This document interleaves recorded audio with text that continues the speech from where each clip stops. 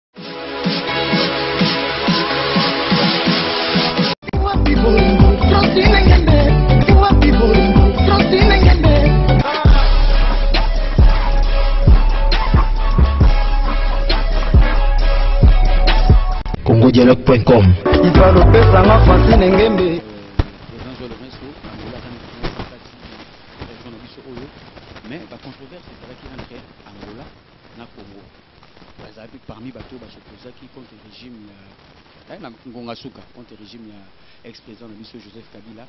et voire même bango basalaki réunion na Union africaine babaki baya bavandisa bana mboka bayeba ndenge nini bakosola par rapport ya baresultat ezalaki conteste e kaka meme angola yango wana andimisi koaccorde visite na président félix tshisekedi politique eza complique Bon politique ezali complique en vrai dit pona koloba ngo so olandi pe kombo na ngo na motu ezali pe politique eza koloba makasi na kati kombo wana engi koloba boye soki president eh, ya peuple congolais Felix Tshisekedi Chilombo alingi konyata liboso na mboka oyo ya Angola pona première sortie na ye ezali te pona question corruption ou quoi ezali problème ya ke Laurent president Lorenzo azali president ya SADC Azali ko controle Afrique centrale mobimba. Première sortie na il faut akutana nanu na president ya sadec ye nde akopesa ye secret ndenge nini akovanda na bandeko mosusu baza nzinga nzinga na ye. Eloko ya liboso yango wana. Na eloko ya mibale koyeba bien makambo oyo ezoleka mingi na Angola concernant le peuple congolais vu que difficulte ezalaki makasi na kati ya ya Congo charge nionso ebandi ekoya na Angola sikoyo ye faut ayeba ke eloko nini aye kosala awa awa ntango mosusu aye babengisaki ye d'une façon ke ayeba ko résoudre problème ya peuple ne pas kokoto mpe toyebi te kongolais toza kotika charge koto epesa so nkokoso makasi na kati ya angola tomoni libanda ya mboka na babrésil na baturquie parci parla o peuple congolais avoyage ebele avoyage na passeport ya angola nayebi koloba portugais te neti dernièrement C'est ça, yango moni ezo se poser ba problèmes ebele nionso wana. En vrai dit, yango na moni que faut bayeba ko soigner ko solola malamu na Angola pona nini ezali moment moko e aider Congo makasi pendant que Congo azalaki na difficulite. Tolinga te difficulite wana eya ko kota lisusu makasi na kati ya Congo. Bayeba ko soigner, ba eza na ba directives bako pesa ye ayeba ko ko tambuisa yango, yango nde ekomema alternance na peuple na kimia na kati ya peuple congolais. C'est ça. Ya tout à l'heure là tango nazoya boye namoni parce que awa ekoma divise ekoma na batu ya lamuka na batu ya udps parce que Dorenavant on avait seulement les combattants de l'UDI. Quand on parlait combattants, on faisait allusion directement à parti euh, opposition et parti historique, si on peut le dire, parce qu'il était dirigé par l'un des monuments et opposants et opposition Nabiso, euh, Papa Fé, euh, Etienne Tshisekedi a tiré Bisso déjà deux ans depuis le 2 euh, février euh, 2017. Na mona bango baza ko se diriger na aéroport balingi kutu babunda. Batu ya Lamuka na batu cher ami internaute Luanda ba combattants bakoma diviser tokoma na bataille de pes une grande partie bakoma pe na Lamuka. Sikoyo ba tiraillement wana eza dit ya nini? Soki tolingi mboka na biso ekende liboso nde olobi aye kozwa ba directive parce que Angola aza na charge mingi ya Congo biso bato tovandaka tomonaka na ba pays nionso eza frontalier Angola aza na charge ebele sikoyo tozo wela nini soki president aye kozwa ba directive awa bato ya lamuka na bato ya udps ya idps affrontement pour decris ezalaki mua mokusika po azwaka image Ndeko Thomas, ezali boye, soki peuple congolais oyo azali na mboka Angola akosala desordre pona problème ya ke koyamba president oyo aye na kati ya mboka, ezali Ezala problème ya bassesse nanu pona ngai wana eza nanu bosoni nanu pona peuple congolais po mutu aza dejà elu akomi kosala elingi koloba ke faut kotosa ye ko respecter ye oyo ya kosala ba desordre tout cela eza ça sert à rien pona nionso wana le problème n'est que eloko ngai nakolinga ya motuya makasi lokola to travaillaki na système ya udps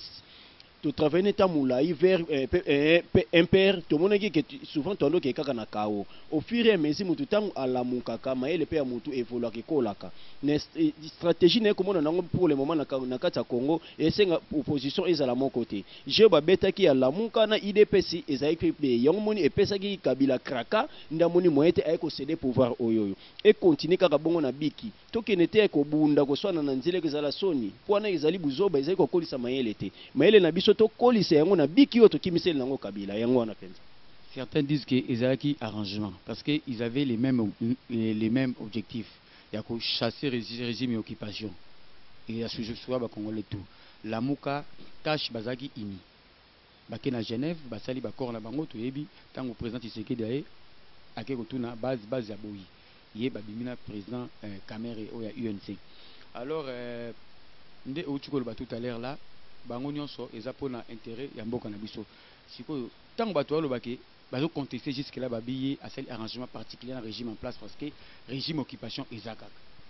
Eza boye, omoni tango tobandaki kokende na makambo wana, ezalaki prevu que mutu oyo ba elire na kati ya opposition ezalaki Martin Fayulu. Mais eloko nini toyaki ko remarquer par après, nous sommes sages nous les peuples congolais, toyaki komona que soki Martin Fayulu abimi, akozala facile ya ko ya ko adopter ba makambo oyo yezo kobima epai ya Moïse na ekozobima epai ya, ya nani ya Bemba. Bemba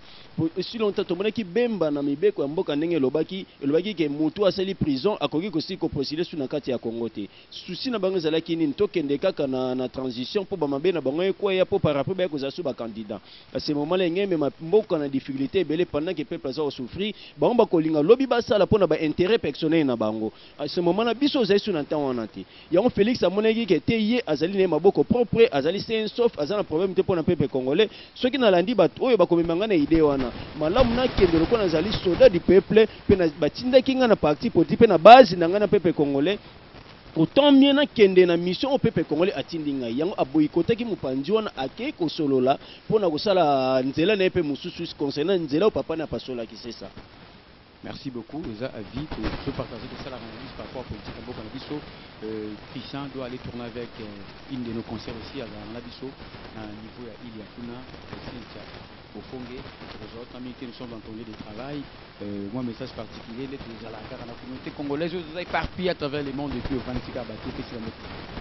bon message particulier na opesa na peuple congolais nyonso azali kolanda nga partout dans le monde Eloko toko eviter liboso ezali nanu ironie, demagogie, speculation ezala te. Tozala unis pour l'evolution de notre patrie. Totala lelo que Felix Tshisekedi ndenge azali elu na na pacification nionso lelo asali première sortie na ye koya na Angola. Nionso wana ezala kaka continuel. Na landaki na monaki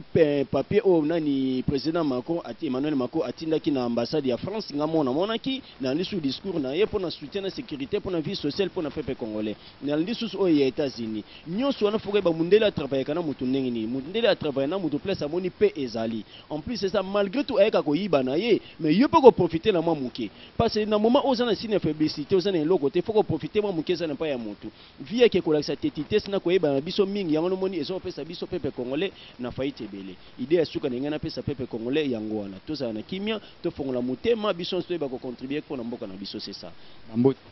Eh, nakopesa bambote ebele na bandeko nyonso baza kolanda ngai na ma très chère mère eh, Hélène Sasa Lovandu na ma très chère mère na kati ya Matadi na RDC mama Cécile Matondo Sasa Lubuka na famille Sasa mobimba hotel Ekokotie na Cité Verte na semeki na ngai Rita Maligi Kanokaka na semeki na ngai na kati ya, ya Belgique eh, Judith Umba Compressor na papa eh, Eh, père na ngai yo moko oyebi papa bokilo wana ya motuya papa eh, prophète jonas mondo prophète na kati ya belgique mbote mingi esika nyonso bango bazali na ma très chère épouse renate omemi kivuila c'est ça Merci beaucoup, Papa Eric, parce que tu as disposé ton temps pour être les nôtres ici aujourd'hui.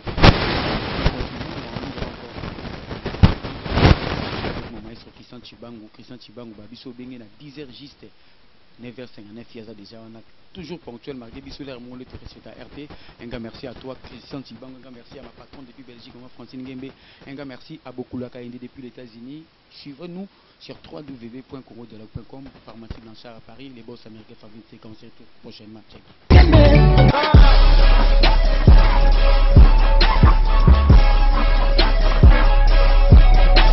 congodialogue.com